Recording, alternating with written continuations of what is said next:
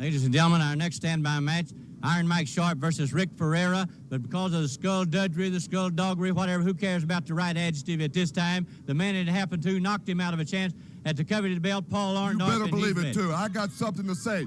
Everybody out there knows what kind of a man I am. When I have a match, I show up regardless. Now, you know you something happened to me a few months ago that I got robbed out of a match. I got cheated out of it. Well, that's here and gone and done with. But you people out there know right now that I just got through running about six blocks to get here. Because when I got my car to crank it up, it wouldn't even turn over. Now, I don't know who did this, but I got a good idea.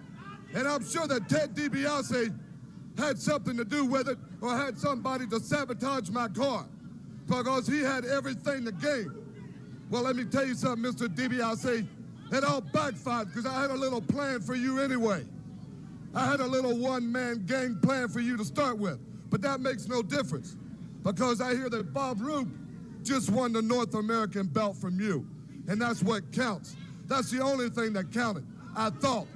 But as I ran through here and went up to the dressing room, I had one of the guys say, Paul, we hear you're not going to be here because I want to congratulate Bob Roop. Bob Roop wasn't up in the dressing room, was taking a shower. And the guy said, Paul, what happened?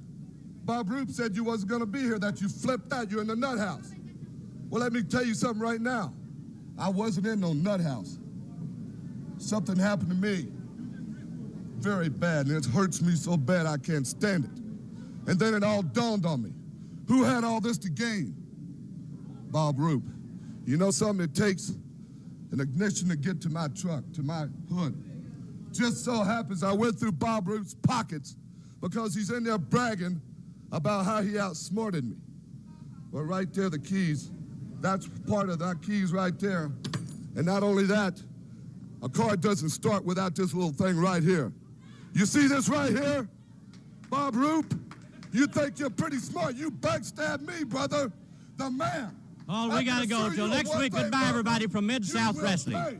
One way or the other. You got my belt, boy, and you will pay.